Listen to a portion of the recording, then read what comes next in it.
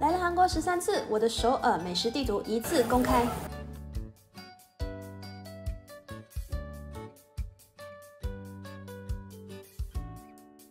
入住江南区的 Park Hyatt。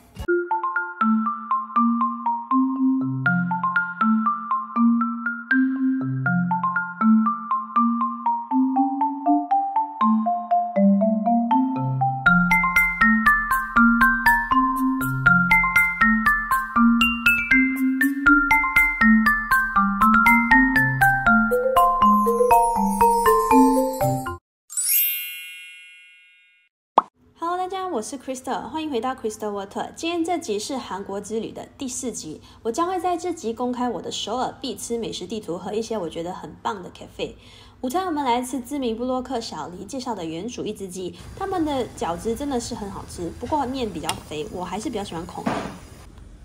今天我们会搬家到江南区三松用的 Park Hyatt Seoul，三上地铁站一号出口走出来就是了。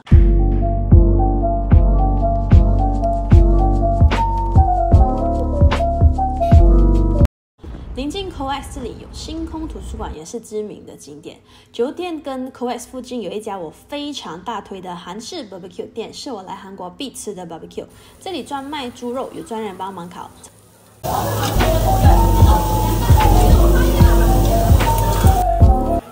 香嫩的肉肉配上自家特别的酱汁，可以说是我在韩国最爱的烤肉店之一。主要是很喜欢有店员帮忙烤，冷面也很好吃。隔天早餐又是我最爱的 egg drop。现在都是这样了，在荧幕点餐先选择语言。这次我终于没有点错了，推荐 American ham cheese，因为他们家的滑蛋超好吃，建议可以换成 French toast 法式吐司。然后呢，我们就来到了这家超火的少女风 Cafe Moonie。现在我们来到这间 Cafe Mooney，它是我非常非常想要来的一间 cafe，因为它是走甜美风的，就是我自己很喜欢的一种风格。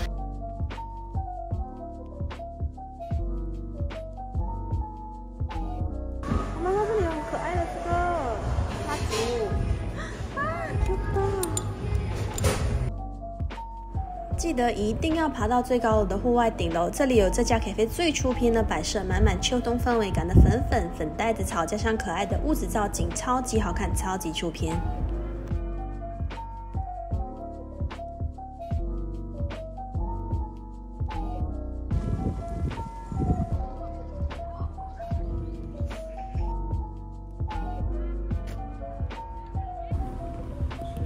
金沙洞林荫道是个人气逛街景点，地铁打到三号线的新沙洞，步行大约八分钟即抵达逛街区域。周边道路上有许多的装潢精致美丽的 cafe 跟餐厅，知名设计师品牌服饰店也很多。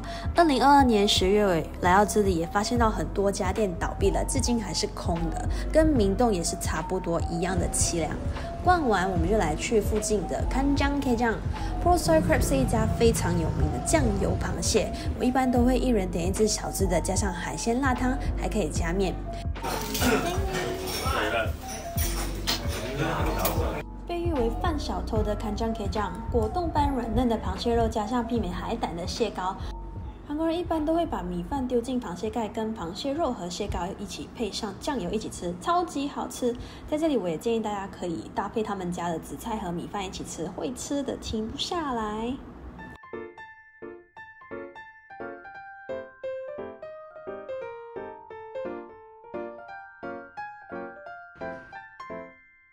今天我们到隐藏在北汉山国立公园里面的 cafe，地铁站北汉山牛耳站。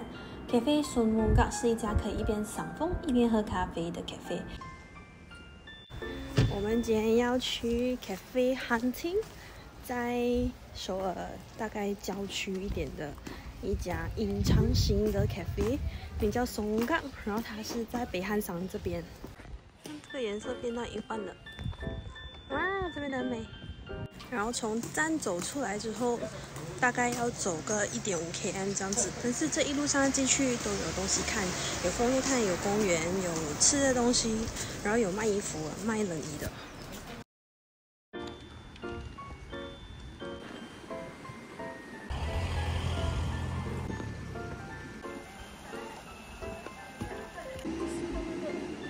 然后就会看到这个松木港。要转进去，其实跟着地图走容易走。如果是驾出来的话，要给 parking，然后就走进去。哇，秋天的颜色。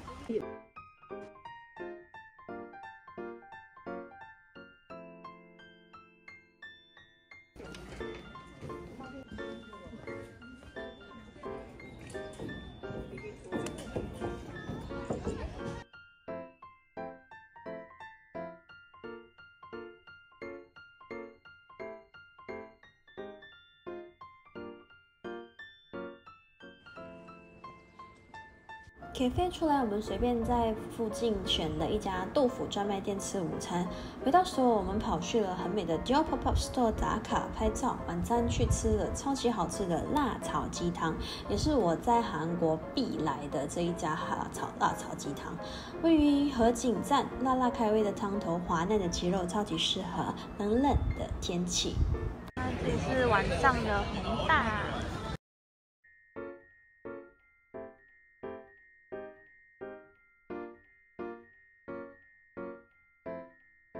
韩国首尔，我必吃的早餐除了 egg drop，还有 Isaac toast。宏大对面这一家有座位，适合跟家人一起去。这里也是自己使用电子点餐。我最爱的是 ham and cheese，吐司是带甜的，很松软。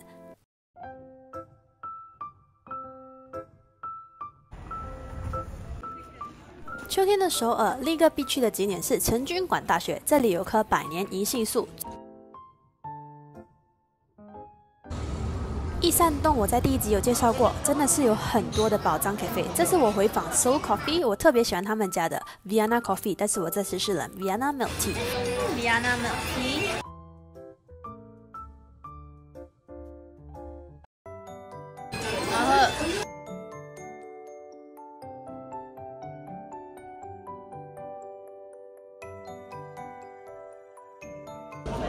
上就来去吃我来首尔必来的 Noyanjin 海鲜市场。地铁 Noyanjin 站七号出口走出来，直直走，跟着海鲜市场的直直走，搭手扶梯走上去，走到对面就是了。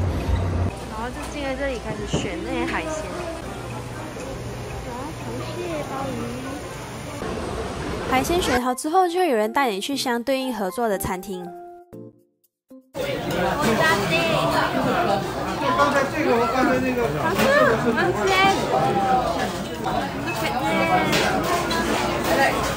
现在是开的比较好吃。嗯，好。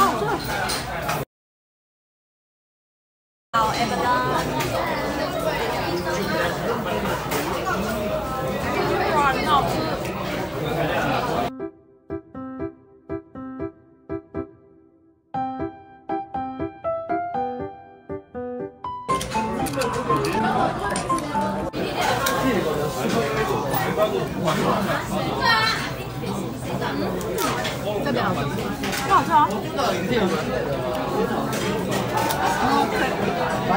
金 crab 比豆块好吃，牛羊筋比釜山的炸嘎鸡好吃。肉很结实鲜，比那还更甜。最后来个炒饭。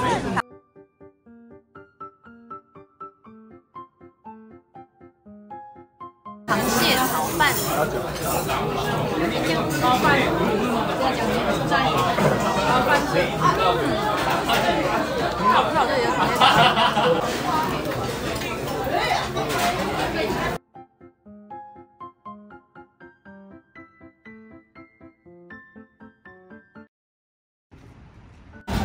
早安，今天我们的早餐先去兰登比格，然后要等大概一百多个 number，所以我先来附近的那个阿年，在安宫这边，然后现在是在等九点开。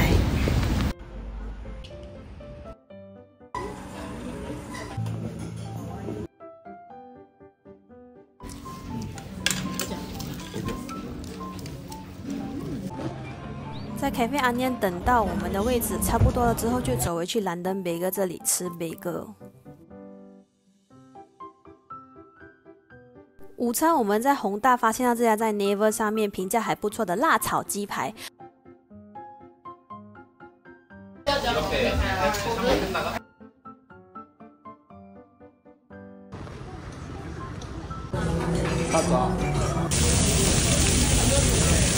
最后再提一下我在韩国的必吃美食——一只鸡。以上就是我在首尔的美食地图。你有什么宝藏美食也想推荐给我的吗？在留言告诉我。感谢您的收看，今天的影片到此结束。喜欢的话记得订阅、分享、按赞、开启小铃铛哦。我们下次影片再见，拜拜。